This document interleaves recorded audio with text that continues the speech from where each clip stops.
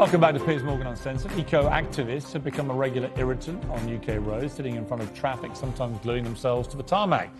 I sympathise with their cause, but not the way they're going about it. I think it's dangerous and just winds people up rather than bring them to their cause and side. But one such person who did take them on was uh, Sherrilyn Speid, who'd just been banned from driving after she nudged three Insulate Britain activists with her car when they blocked her on the school run. Here's what happened. My son needs to get to school. I'm push the. Move out the way now. She's going to punch her up. Punch her up. I can't get My son is 11 and he needs to get to school.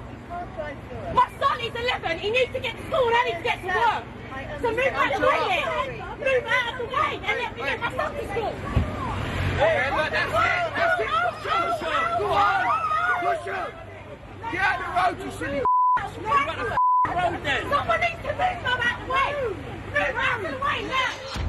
Well, Sherrilyn Speid joins me now, along with Liam Norton from Insulate Britain. Good evening to both of you. Sherrilyn, um, when I watched that video, I just see I see a mum desperate to get her kid to school on time. I've got a ten-year-old who I take to school, but I walk her to yeah. school. You have to drive your son. You now can't do that. When you look back at what happened there, no. describe your frame of mind about what you encountered and the way you reacted. Do you know what? It was a really hard time personally for me. Um, I know more people are aware of a bit of my background now. I just found it really stressful. You know, it's early in the morning. I'm trying to get my son to school, get to work. I've got personal things going on as well. I'm suffering with anxiety, and I've got these people in front of me stopping me from going to where I needed to go. I just found it really difficult. A difficult, it's really hard experience for me. And when you then got dragged through the courts, you were banned from driving for a year, received a £240 fine, you were charged with assault, although that got dropped.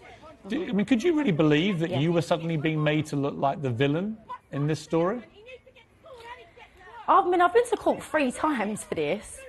Um, I'm still shocked that I'm on a driving ban, I'll be honest. I don't really think that I deserve that. I mean, they did say it was going to be careless driving, which meant I got points on my licence and a fine, and I was happy, you know, to accept that. I, I understand that I did do wrong, you know, and I take the consequences, but for someone who has no previous convictions and, you know, not even points on my licence, I just felt like that was a bit harsh. And as a result, you now can't drive for a year. You can't take your son to football training. He trains all over London and Essex. You can't help your mother with her shopping and getting around. Uh-huh.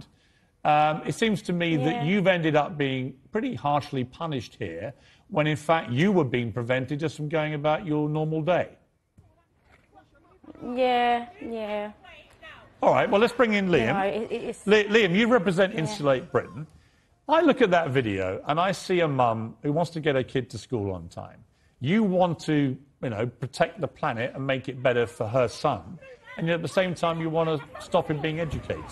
So people watch that and they go, why are you doing this? Why can't you protest in a different way to literally lying in front of cars to the point where a young mum loses it and ends up with a fine and everything else and not being able to drive a boy around?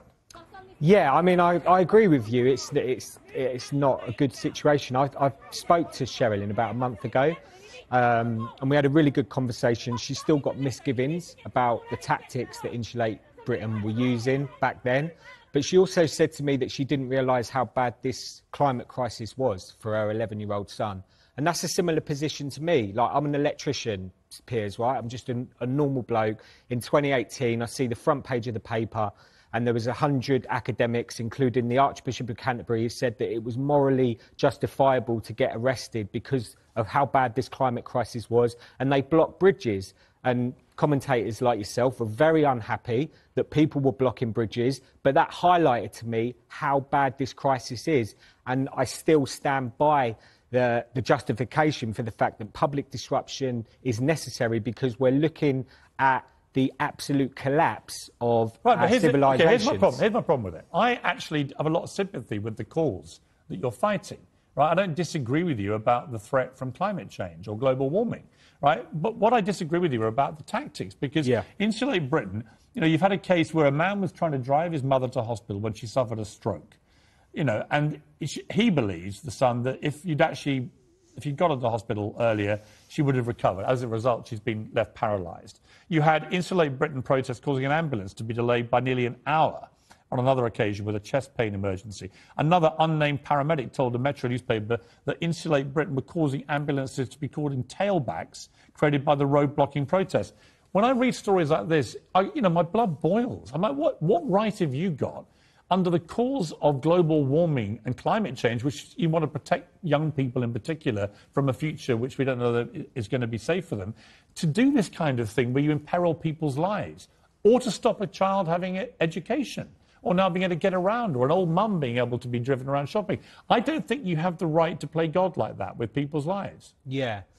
And, and, and I don't believe that this is a cause. What Well, we're talking. It is a no, no, no. What we're talking about is a physical reality. Yeah, but it's also a cause. You're fighting a cause and There's you're the protesting. real- there's the real People world. protest about all sorts of things. There's the real world, Piers, right? Yeah. And, and we need to understand that we're living in the real world. I understand that. What I, We don't, what I don't understand, Liam, is why you have to do the kind of things I've just read out. Why you have to make that poor woman not be able to take her son to school. There are other ways to protest. But why is that poor son in 20 years' time going to live in a world that's one of unimaginable horror? Well, we don't know where the We world do. will be in 20 years' we time. do, and Well, this actually, is, no, we and we don't. need to start to accept this horrendous physical Yep. reality that exists, Piers, and we're not discussing it well enough. And Sherrilyn's son is 11 years old, doesn't get to have a say Mm. in his future, which at the current trajectory is going to be one of Yeah, but I unimaginable come horror. back, Liam, I come back to the point. I agree with you about the need to take climate change seriously. What I don't agree with you is stopping people from getting emergency medical treatment or stopping children going to school. That, to me, seems to be the opposite of what you're trying to achieve, which is a safer future for people. Yes, so what we're saying here is why aren't we talking about the government criminality that's going on when every person knows, like, this is happening now. We've got an absolutely catastrophic heat wave going on in India and Pakistan at Hmm. the moment to the point where glaciers are melting in the Himalayas, causing rivers to flood and breaking infrastructure. Yeah, but you're missing my point. I don't disagree with you about Yeah. the dangers uh, that are being faced to the world. I, I would support you. The problem I have with your tactics is you put me off supporting you. You don't bring me to your protest. I don't think, oh, I want to join these guys. They're making a great point. I just look at this poor woman and think, why have you done that to her and her kid? I look at these terrible stories of a woman left paralyzed because you lot were lying in front of a car. It's like, why do that? There are other ways to protest. Because you're not listening to what I've just said. You're not emotionally No, connecting to the fact that what I've just said to you is one billion Actually, people. you're not listening to what I'm saying. No, I am. But what I'm not. saying is we're in this. What you're not hearing is I'm agreeing with your cause, with Yeah. the campaign But you're I've just said to you I just don't agree with the tactics. I, want you to concede, Liam. But I don't agree with government listen, criminality. Let me finish. I want you to concede that the tactics you've been using are self-defeating. Hmm. I think there's a better, more effective way to do it. I think you would, if you're honest with yourself, say that actually this doesn't work, this kind of thing. It might get you a few lurid headlines, but I don't see any of the British public go, you know what, I'm watching this video, I've got to join that protest. They think the opposite. yeah, they I'm- think you're a bunch of people wrecking people's lives, and I don't think that's actually what you want to achieve. Well, look, we're prepared to take the consequences. There's 14 people currently in prison, non-violent, ordinary people that are currently in prison. Ordinary people like Sherrilyn Speid are, are receiving unfair sentences. Nobody wins here. But what we're saying is for the government, look, we've got an, we had an ordinary, like a, a no-brainer plan. To insulate Britain, which has been proven in an energy crisis now. I've got an energy bill of £550 that I'm really struggling to pay. I'm sure Sherrilyn. But do you I'm sure insulate? I loads you, of- you famously walked off Good Morning Britain, and you were in good company. All the best people do. Yeah. But you walked off Good Morning Britain when they asked you if you insulate your own home, and you hmm. said you don't because you're a hypocrite. Have you started to insulate it yet? I've just said to you, I've got a £550 bill that I can't pay. Right. So just just to be clear, though, you still don't insulate your own home, even though your whole campaign is you've got to start doing that. So we're talking about social housing. I understand. The poorest in our society. I understand. Mm. We're saying that it won't happen unless the poorest in our society can can do the job. Mm. And as we all know, the poorest in our society are struggling in poverty. See, but, I, but Lynn, I would take you more seriously if you did insulate your own home. So are you only You're an saying electrician. that- You know how to insulate a home, right? But and for the last 18 months, I've been doing a job that doesn't pay well, Piers, hmm. right? So I'm not a very well off guy. Right. And what you're saying is that only people that can afford £10,000 to insulate and retrofit a property I'm not saying that. I'm just are the that- ones that can have an No, I'm just- opinion on this. And we're No, talking I'm about. not saying that. I'm we're- just saying I'm saying it would probably help your cause if you stop lying down in front of mums trying to take their kids to school, or people whose whose mothers are literally having strokes and getting paralysed. If you stop doing that and you actually practice what you preach about things like insulation, people might be more inclined to follow your campaign. Which, by the way, just to finish on. I agree with. We can That's come it. together. We can come Well, together come together. as a country. Let me ask Sherrilyn before we, we, go. get on with the job. Let me just ask Shirley before we go. Final question: Do you have any sympathy with what he's doing? Shirley, can you hear me? Do you have any sympathy with Liam? Yeah, I can hear you now. Do you have any sympathy with Liam? Sympathy with him. Yeah. Look, I, I just look. I've spoke to Liam. I've said to him before. I don't agree with the methods. I think we're stronger together.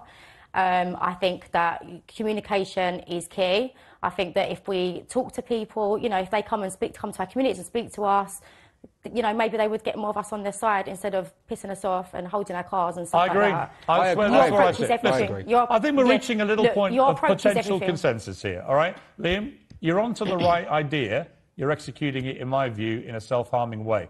But we'll continue the debate. Okay, I promise you that. We'll continue the debate. Good to talk to you both. Thank you very much. Thank you. Well, uncensored next, the Queen's ill health means she won't attend the state opening of Parliament for the first time in 59 years. What does that mean for her? And what does it mean for the future of the monarchy? We'll debate that next.